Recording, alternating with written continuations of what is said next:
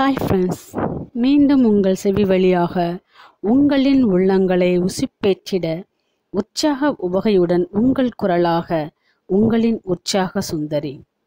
நாவலின் ஆசிரியர் ஆத்விகா பொம்மு. நாவலின் தலைப்பு சர்வலயா. ஆம் சர்வமும் லயம் தப்பாமல் உங்கள் இதய நாளங்களை ஆத்விகா பொம்மு நாவலோடு இணைத்திடுங்கள். ஆத்விகா பொம்மு நாவலின் ஆடியோ நாவலை சப்ஸ்கிரைப் செய்து எங்கள் இதயங்களோடு என்றென்றும் இணைந்திருங்கள். இதோ லயம் இருபத்தி நான்கு கையில் துவண்டு விழுந்தவளை இலக்கியா என்று பதறி அழைத்தவாறு தன்னுடன் அணைத்து கொண்டான். தன்னவள் நிலையை நினைத்து முதல் முறை அவன் கண்கள் கலங்க மனமோ வலிக்கத் தொடங்கியது. கன நேரத்தில் துப்பாக்கியை எடுத்து ஜீன்ஸில் சொருகியவன் அவள் கன்னத்தை தட்டினான். அவள் விழித்தால் தானே அதற்கு மேல் தாமதிக்காமல் தனது குழந்தையை தாங்கிக் கொண்டிருக்கும் தன்னவளை அவன் குழந்தை போல தாங்கிக் கொண்டு காரை நோக்கி ஓடினான். காரை ஒரு கையால் திறந்து அவளை கார் சீட்டில் படுக்க வைத்தவன் அவள் முகத்தை ஏறிட்டு பார்க்க அவளோ விழிகளை மெதுவாக திறந்தாள். உடனே அவள் முகத்தை தாங்கி அவள் இதழ்களில் அழுந்த முத்தமிட்டவன் உனக்கும் நம்ம குழந்தைக்கும் எதுவும் ஆக நான் விடமாட்டேன் என்று சொல்லிவிட்டு அந்த நெருக்கடியான சந்தர்ப்பத்தில் கஷ்டப்பட்டு நிதானத்தை கடைபிடித்தான். நெருக்கடியான சந்தர்ப்பத்தில் நிதானமாக முடிவெடுக்காவிட்டால் அவன் ஒரு உறுதியான அரசியல்வாதியே இல்லை. அடுத்த கணமே காரை வைத்தியசாலைக்கு செலுத்தியவன் மனம் பட்டப்பாடு அவன் மட்டுமே அறிவான்.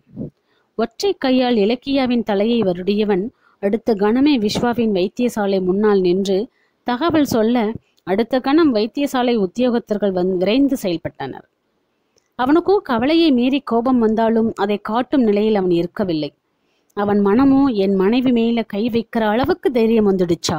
என்று உரிமையவன் அடுத்த இலக்கு மூர்த்தி மற்றும் சதானந்த சாமியார் மேல் பாய்ந்தது. இலக்கியா நிலையை அறிந்து வைத்தியசாலைக்கு ஓடி வந்த சாணக்கியன் அங்கு முன்னால் இருக்கையில் முட்டியில் கைகளை கோர்த்தவாறு அமர்ந்து இருந்த சர்வேஸ் மேல் கை வைக்க நிமிர்ந்து சாணக்கியனை பார்த்த சர்வேஸ் மூர்த்தி என்றான். உடனே சாணக்கியன் போற்று என்று சொன்ன அதே கணத்தில் அளவுக்கு அதிகமாக ரத்தம் இழக்கப்பட்டதால் தங்கைக்கு ரத்தம் கொடுக்க விதுரன் வந்து சேர்ந்தான். இலக்கியாவுக்கு உயிருக்கு ஆபத்து இல்லை என்று விஸ்வா சொன்னதுமே அனைவருக்கும் மனம் நிம்மதியடைந்தது ஆனால் ரத்தம் கொடுக்க வேண்டியிருந்ததால் விதுரனும் அதே ரத்த மாதிரியாகவும் இருந்ததால் அவன் அடுத்த கணமே தங்கை தேடி வந்து விட்டான். அவன் வந்ததும் சர்வீஸை மட்டும் பார்த்து தலையசைத்து விட்டு நேரே ரத்தம் கொடுக்க செல்ல அங்கு நின்றது என்னவோ மதுராதான். அவனை முறைத்தவாறே இங்கே படுங்க என்று கட்டிலை காட்ட அவனோ மனதிற்குள் இருக்கிற கோபத்துக்கு நமக்கு ஊசியால் தாறுமாறா குத்திடுவாளோ என்று நினைத்த அடுத்த கணமே அவள் ரத்தத்தை எடுக்க அவன் கையில் டியூப்பினால் இறுக்கி கட்டினாள்.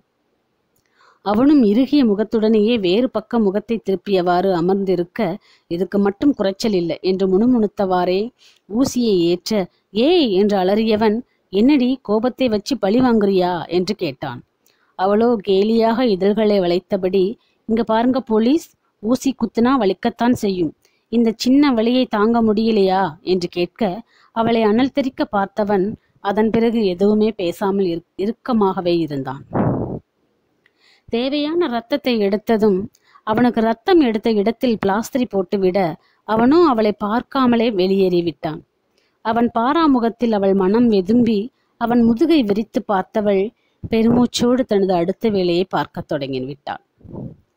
இலக்கியாவுக்கு ட்ரீட்மெண்ட் செய்து கொண்டிருந்த விஸ்வா இடையில் வந்து சாணக்கியனிடமும் வசுந்தராவிடமும் இனி ஒன்றும் பிரச்சனை இல்லை அம்மாவும் குழந்தையும் நலமா இருக்கிறாங்க என்று சொல்ல அங்கிருந்த சர்வேஸ் முக்கியமான மீட்டிங்கில் இருந்து வந்திருக்கிறீங்க நீங்க கிளம்புங்க நான் பார்த்துக்கிறேன் என்றான். உடனே வசுந்தரா நான் இருக்கிறேன் என்று சொல்ல அதற்கு அவன் இதையே காரணம் காட்டி வேலை செய்யாமல் இருக்க பிளான் போடுறீங்களா? என்று கேட்க வசுந்தராவுக்கோ கோபம் தாறுமாறாக வந்தது. அவனை முறைத்தவர் நான் கிளம்புறேன் என்று சொல்லிவிட்டு கிளம்ப சர்வேஸை பார்த்து தலையசைத்தவாறு சாணக்கியனும் கிளம்பிவிட்டார். விதிரனும் அதை அத்தை பாவம் என்று சொல்ல அவனை திரும்பி பார்த்த சர்வேஸ் உன் அத்தை இங்க இருந்து பாசமலர் படம் ஓட்டுறதுக்கா? என்று கேட்க அதுவும் சரிதான். என்ன ஆச்சு? மூர்த்தியாளா? என்று விதிரன் அடக்கப்பட்ட கோபத்துடன் கேட்க ம் என்றானே தவிர மேலே ஒரு வார்த்தை கூட பேசவில்லை. விதுரனோ மனதிற்குள் இவன் வார்த்தையை என்னைத்தான் பேசுவானா என்று நினைக்க அவனை பக்கவாட்டாக திரும்பி பார்த்தவன் கொஞ்சமா பேசுறவனுக்குத்தான் மதிப்பு அதிகம் என்று சொல்ல அவனை அதிர்ந்து பார்த்தவன் நாம் நிம்மதியாக மைன் வயசுல கூட பேச முடியலப்பா என்று மனதிற்குள் புலம்பினான் விதுரன் அன்று மதியம் சாப்பாடு வாங்கி கொடுத்த போது கூட சர்வே சாப்பிட மாட்டேன் என்று சொல்லிவிட்டான். தன்னவள் நிலை நன்றாக இருந்தாலும் முதல் தடவை சர்வேஸுக்கே மரண பயத்தை காட்டிவிட்டாள் அல்லவா? தான் இறப்பு நே- நேரும் நேரத்தில் கூட அவள் இவ்வளவு பயந்திருக்க மாட்டான். முதல் முறை தன்னவளை காக்க வேண்டும் என்று நினைத்து நினைத்தே பயந்து போனான். அதுவும் தனது கண் முன்னாடியே தன்னவள் ரத்தம் சிந்தியதை அவனால் ஏற்றுக்கொள்ளவே முடியவில்லை. அனைத்துக்கும் மேலாக அவள் தன்னை காக்க தன் உயிரை பணயம் வைத்ததை நினைக்கும்போது அவள் காதலை நினைத்து ஒரு பக்கம் உடல் சிலிர்த்து அடங்கினாலும் குழந்தையை கூட நினைக்காமல் தன்னை காப்பாற்ற வந்தது மறுபக்கம். அவள் மேல் ஆத்திரத்தை அவனுக்கு கிளப்பியிருந்தது. சிகிச்சை முடிந்ததும் அவளை ஓய்வாக தூங்க வைத்த விஸ்வா வெளியே வந்து இன்னும் கொஞ்ச நேரத்துல கண் முழிச்சிடுவா. புல்லட் ரிமூவ் பண்ணின இடத்துல கட்டு போட்டு இருக்கிறோம் என்று சொல்லிவிட்டு செல்ல அவனுக்கு மூச்சு வந்தது.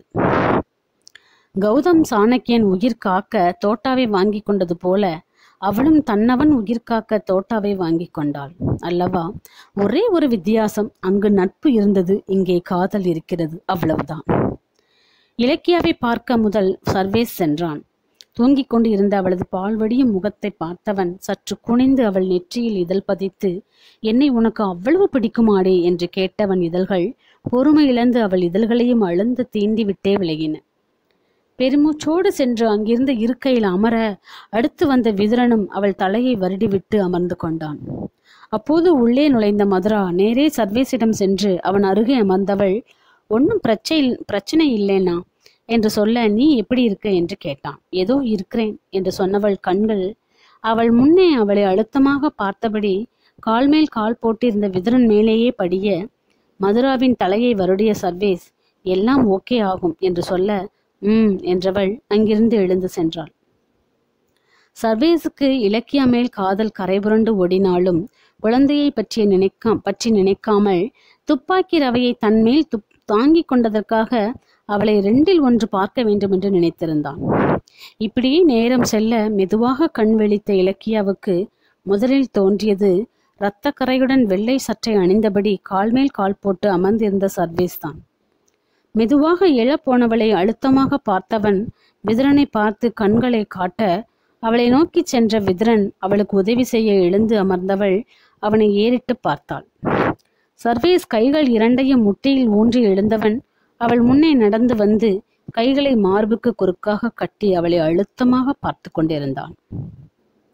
அவளோ அவனது அனல் தெரிக்கும் முகத்தை ஏறிட்டு பார்த்து எதுக்கு இப்படி பார்க்கிறான்னு தெரியலையே என்று நினைத்தபடி அவன் செத்துட்டானா என்று கேட்க க- கேட்டும் கேட்ட கணமே தனது வாயில் சுட்டு விரலை வைத்து பேச வேண்டாம் என்று சைகை செய்தவன் வாயை துறந்தா கொன்னுடுவேன்னு சொல்லு என்று விதரனிடம் சீறியவனை ஏறிட்டு பார்த்தவளை மீண்டும் அனல் தெறிக்க பார்த்தவன் உன் தங்கச்சிக்கு ஒரு பெரிய ஜான்சி ராணின்னு நினைப்பா என்று விதரனிடம் திரும்பி கேட்க அவனோ நாங்க வீர பரம்பரை என்றான். அதற்கு சர்வேஸ் அவனை உறுத்து வெளித்து மண்ணாங்கட்டி எனக்கு வாயில நல்லா வருது வேணாம் என்று விரல் நீட்டி எச்சரித்தான். அதன் பிறகு தலையை கோதி தன்னை நிலைப்படுத்திக் கொண்டு பெருமூச்சோடு அவளை பார்த்தவன் விதனிடம் திரும்பி கொஞ்சமாச்சும் உன் தங்கச்சிக்கு குழந்தை மேல அக்கறை இருக்கா? என்னை சுடுங்கன்னு சொல்லிட்டு வந்து முன்னால நிக்கிறா? தோளில் பட்ட புல்லட் கொஞ்சம் மிஸ் ஆகி நெஞ்சில பட்டிருந்தா என்ன ஆகியிருக்கும்? என்று ஆக்ரோஷமாக கேட்க விதரனும் ம் அதானே கேட்கிறார்ல சொல்லு என்றான். உடனே இலக்கியா அவர் கூட சேர்ந்து இவனும் ச்சே காப்பாத்தியிருக்கேன் பாரு ஒரு தேங்க்ஸ் சொல்லலைனாலும் பரவாயில்லை. இப்படி திட்டாம இருக்கலாம்ல என்று நினைத்தபடி அவர்கிட்ட சொல்லு எப்படி இருந்தாலும் என்னை காப்பாத்தி இருப்பார்னு நம்பிக்கையில தான் அப்படி நின்னேன்னு என்று சொல்ல சர்வேஸ்க்கு கோபம் ஏகத்துக்கும் எகிரியது என்ன பேச்சு பேசுறா பாத்தியா? இவளால எனக்கு உயிரே போய் வந்துடுச்சு தெரியுமா? அவகிட்ட கேளு என்று ஆரம்பிக்க விதுரன் என்று அழு அழுத்தமாக அழைத்தாள் இலக்கியா. அவனும் நேரே பேசிக்காம என்ன வச்சு செய்கிறாங்க என்று சலித்தபடி என்னடி என்று கேட்க இனி என்கிட்ட எதுவும் கேட்க வேணாம்னு சொல்லு. ஏன்னா எனக்கு வாய் வலிக்குது என்று சொல்ல உடனே விதுரன் என் வாயில வச்சு என்னாச்சு? என்று கேட்டான். பேசுவதை நிறுத்திவிட்டு சர்வேசும் புரியாமல் திரும்பி அவளை புருவம் சுருக்கி பார்க்க ஆ ஒர்க் அவுட் பண்ணினேன். ட்ரெய்னர் படுத்தி எடுத்துட்டார் என்றவள் சர்வேஸை அடக்கப்பட்ட சிரிப்புடன் பார்த்தாள். அதை கேட்டு சர்வேஸ் அதிர்ச்சியுடன் வெளிவிரித்து அவளை பார்த்தான். அவளுடன் இதழ் யுத்தம் புரிந்து அவனுக்கு உடனே புரிந்து விட்டது அவள் கூற வந்தது ஆனால் விதுரனோ ஒர்க் அவுட் பண்ணுனா உடம்பு தான் வலிக்கும். உனக்கு வாயும் வலிக்குதா? என்று கேட்க அவனை சடுதியாக பார்த்த சர்வேஸ் உனக்கு எதுக்கு அந்த ஆராய்ச்சி? இதில் நல்ல ஆராய்ச்சி பண்ணு. அந்த மூர்த்தியை தூக்கச் சொன்னா என்னடா பண்ணிட்டு இருக்க? இப்ப பாத்தியா என்று கதையை மாற்ற விதுரனும் வாய்வழி சம்பந்தமான ஆராய்ச்சியை விட்டுவிட்டு மூர்த்தி சம்பந்தமான ஆராய்ச்சியில் இறங்கிவிட்டான். நான் இன்னைக்கு கூட அந்த சதானந்த சாமியாரை தூக்குறதுக்கு அவன் நிற்கிற ஹோட்டலுக்கு போக இருக்கேன் என்று சொல்ல நீ அவனை பார்த்துக்கோ நான் மூர்த்தியை இன்னைக்கே தூக்குறேன் என்று சொல்ல இவர்களின் பேச்சை கட்டிலில் சாய்ந்திருந்து கேட்ட இலக்கியாவோ ரெண்டும் பேசுற பேச்சை பாரு என்று நினைத்து கொண்டாள். உடனே சர்வேஸ் மூர்த்தியை தூக்குறது ரொம்ப ரிஸ்க் என்று சொன்னதும் விதுரனும் அவனுக்கு சட்ட ரீதியா தண்டனை வாங்கி கொடுக்கணும் என்று சொல்ல அவனை தலைமையில் கைகூப்பி கும்பிட்டவன் எப்பா போலீஸ்? உன் தண்டனையெல்லாம் இவன்கிட்ட செல்லாது. அடுத்த நாளே ஜாமீன் வாங்கிடுவான். நீ இவனை என்கிட்ட விடு. அந்த சாமியாருக்கு நீ என்ன தண்டனை வேணும்னாலும் வாங்கி கொடு. அவன் டம்மிதான் என்றான். விதுரனும் சர்வேஸை பார்த்து சரி அப்போ நான் வர்றேன் என்று சொல்ல அப்போதுதான் அறைக்குள் நுழைந்த மதுராவுக்கோ அவர்கள் பேசியது தெளிவாக விழுந்தது. சர்வேசன் கவனம் விதுரன் தனியா போற பார்த்து என்று சொல்ல மதுராவை கேட்கவே வேண்டாம். பயத்தில் உறைந்தே விட்டாள். அவள் கரம் தானாக தாலியை பற்றி கொள்ள அவளை தாண்டி வெளியேற போன விதுரன் ஒரு கணம் அவளை ஆழ்ந்து நோக்கி விட்டு சென்று விட்டான். மதுராவோ மனம் கேட்காமல் அவன் பின்னே சென்று விதுரன் என்று அழைக்க அவனோ திரும்பி என்ன என்று ஒற்றை புருவம் உயர்த்தி கேட்டான். ரத்தம் கொடுத்தீங்க ஒண்ணுமே சாப்பிடாம போனா மயக்கம் வந்துடாதா? என்று கேட்டாள். அவள் கேட்டது என்னவோ அக்கறையாகவும் யதார்த்தமாகவும் தான். ஆனால் அவனுக்கோ அந்த மயக்கம் என்ற வார்த்தை கோபத்தை தாறுமாறாக கிளப்ப கொன்னிடுவேன் போடி என்று சொன்னவன் விறுவிறுவென வெளியேற மதுராவோ எதுக்கு இவ்வளோ கோவப்படுறார் என்று யோசித்தபடி இலக்கியாவின் அறையை நோக்கி சென்றாள். விதுரனும் மதுராவும் சென்றதும் தனிமை கிடைக்க இலக்கியாவை அனல் பார்த்த சர்வேஸ் எல்லாம் சொல்லிடுவியா? என்று கேட்க அவளோ நான் நிஜமாத்தான் சொன்னேன் ரொம்ப வாய் வலிக்குது ட்ரைனர் ரொம்ப மோசம் என்று அடக்கப்பட்ட சிரிப்புடன் சொல்ல போடி என்றவன் அங்கிருந்து இருக்கையில் அமர்ந்து போனை நோண்டத் தொடங்கி விட்டான் அவன் போனை பார்த்தபடி இருந்தாலும் அவன் இதழ்கள் மெதுவாக விரிந்ததை அவனை பார்த்து கொண்டிருந்த அவளும் அறிந்தாள். உடனே அவளுக்கு தோன்றியது என்னவோ ஆண்களின் வெட்கமும் அழகுதான் என்பதுதான். நன்றி. ஆடியோ நாவலுக்கு சர்வமும் ஆத்விகா பொம்மை நாவலே அதோடு இணைந்திருங்கள் லயம் தொடரும். லயநயத்தோடு உங்களிடம் இருந்து விடைபெறுகிறேன். காத்திருங்கள் உங்களின் சுந்தரியின் குரல் குரலிற்கு நன்றி வணக்கம்.